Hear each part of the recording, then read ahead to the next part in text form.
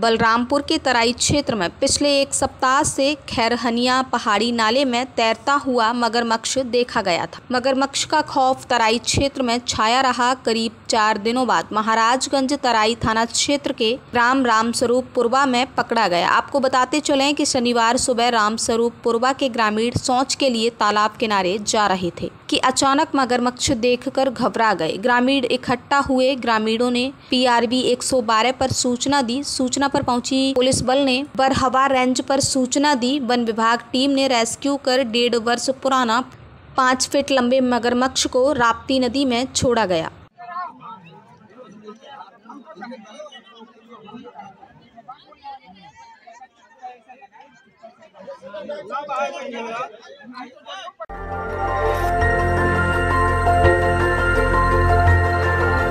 देखते रहिए डीबी भारती समाचार नज़र हर खबर पर।